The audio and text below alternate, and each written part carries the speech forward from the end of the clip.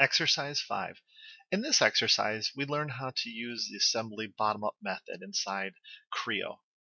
As you can see here, this is a part, um, it's a U-joint, and we're going to go ahead and see how to assemble it. And once it's all put together, we could go to the drag component tool up here, click on the handle, and rotate it around and see dynamic assembly motion, how it kind of interacts with each, with each component. So let's take a look how that's done. Let's go to File, New, Assembly, and call this E5, and hit OK.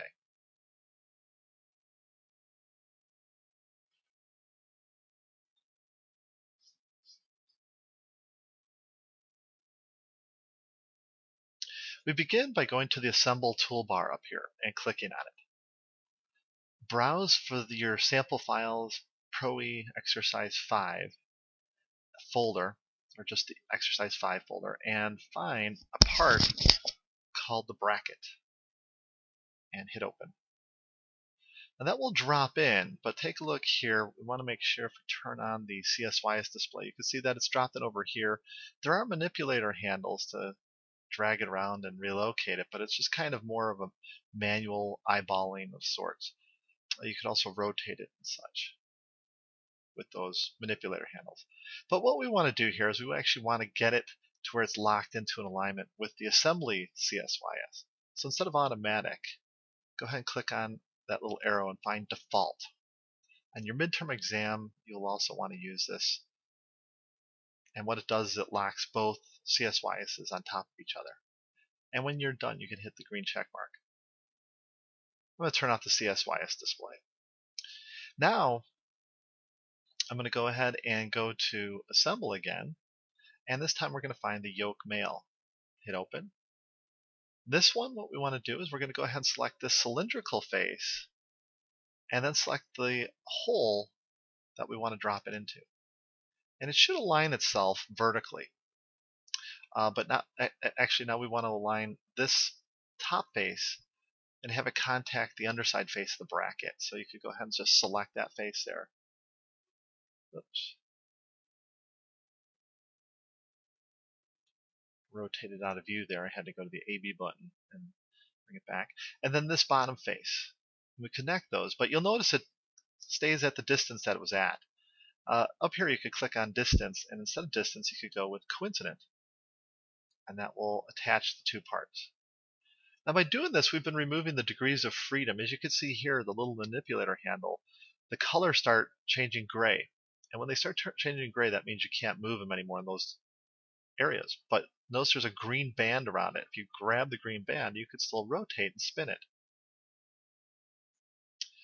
Hit the green check mark. We do still want to maintain some of that ability for it to rotate like that.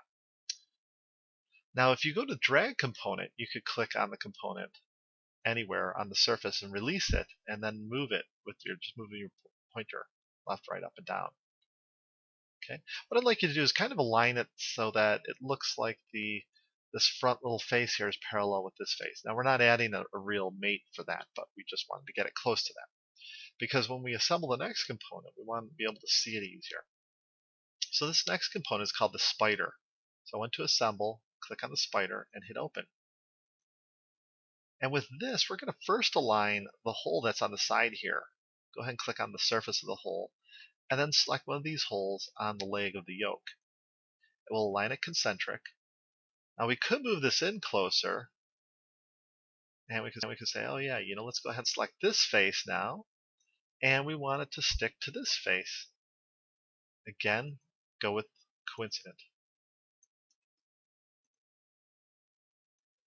Okay, and now you'll see that there's a red band left over on the manipulator handle. You can drag this up and down. So those are the degrees of freedom that remain there. Hit the green check mark to apply. Now we're going to go ahead and insert another part. So we go to Assemble and find the yoke female and hit Open. Now with this one, we actually want this to be this blade to be face down. It's going to actually go in alignment with this angled plate on the bracket. So you could grab the manipulator handle and just drag it down a little bit. We could have done that later on too, but uh, this might make a little bit more sense when we select this face of this hole here. and we want to align it to this face.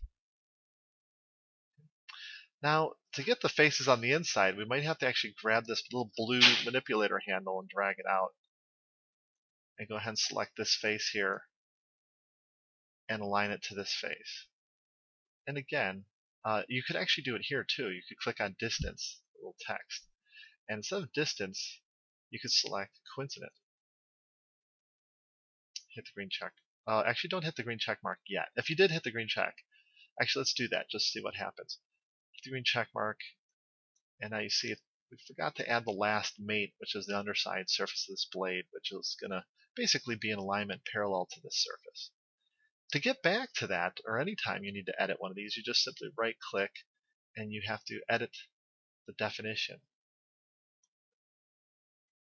And so with this now, we could go ahead and add where we left off. Now, if you want to see the details of what you have been adding, you could click on placement and you'll see that we have a coincident, there's a second coincident, and then we want to add a new constraint. So you could add these kind of a more manual method if you really want to see what's happening and what you selected for each. And you could also delete out of there what you've added if there is something selected, like if I were to select this face.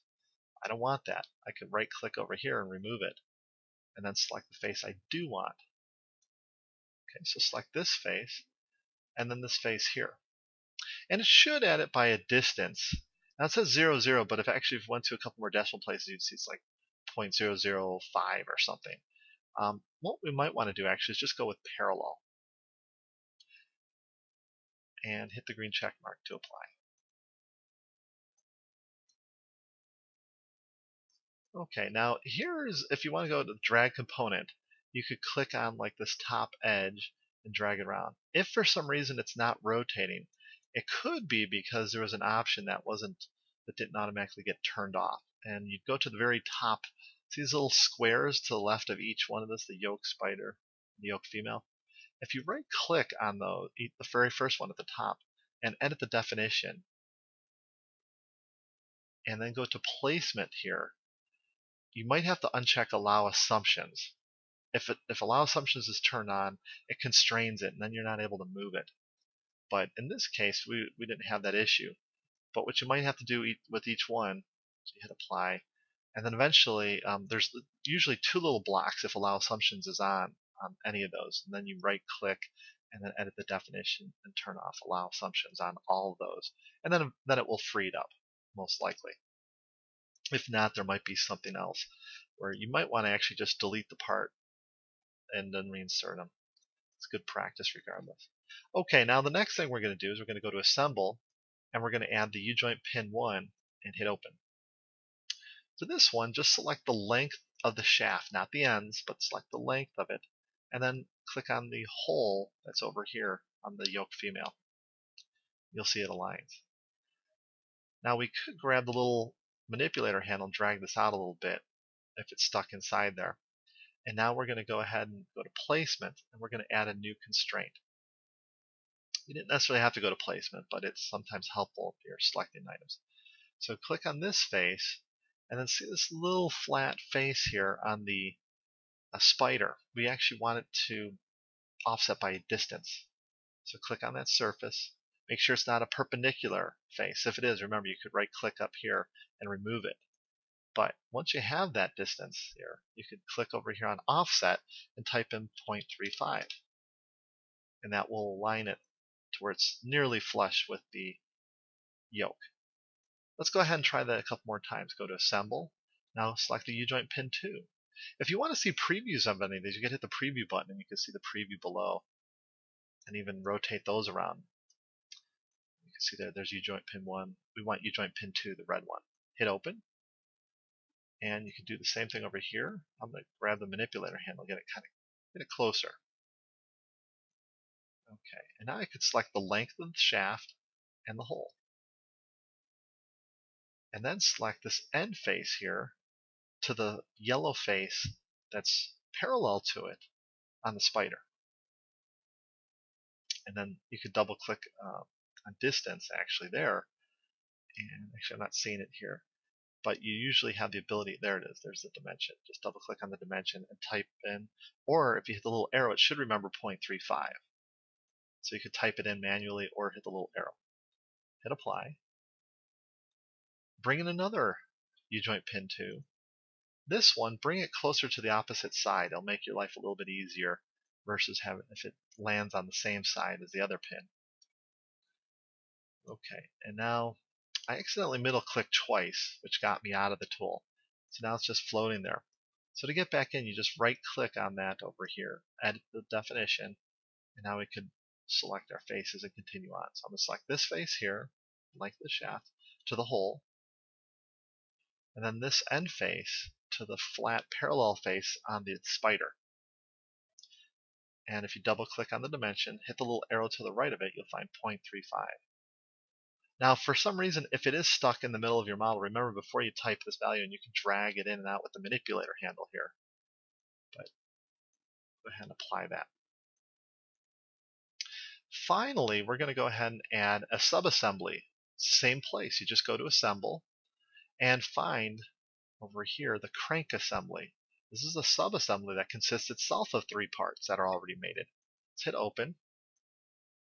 We'll drag that up higher here and to the right. We could even rotate it. If you rotate it so it's backwards, it might actually align a little bit better because there's two flats that we want to align. And if it's uh, it gets it goes to the closest face, and unfortunately it might go parallel, but it's flipped 180 degrees. Um, so what we want to do is kind of rotate that around ahead of time. And now we could go ahead and select uh, the length of the shaft that you see right here to this surface of the shaft, not the flat. Be careful, you don't want to select the flat by accident. And that should align.